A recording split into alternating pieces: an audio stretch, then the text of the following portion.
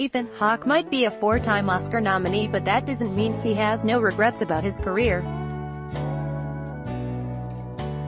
As he reveals tonight, June 1st, on the BBC's The Graham Norton Show, Hawke turned down the chance to audition for iconic blockbuster Independence Day because he thought it would be terrible. No one can teach you how to pick parts, he says. I once read the script for Independence Day and mocked it because I was arrogant and thought it terrible.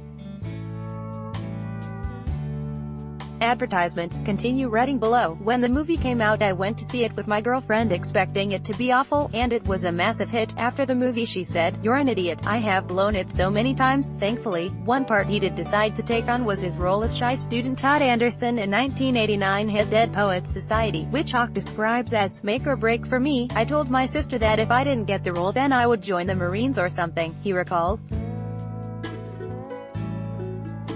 Thankfully he did get cast, meaning that he got to work with the late Robin Williams, who played inspirational teacher John Keating.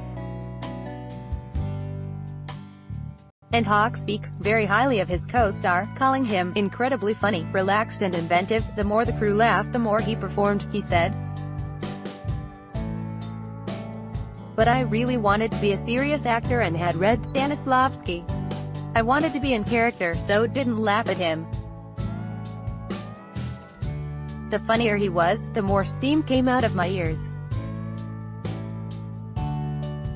He really teased me about it and I thought he hated me. After the movie came out I got a call from Robin's agent asking to represent me as Robin had told him I was going to be someone one day.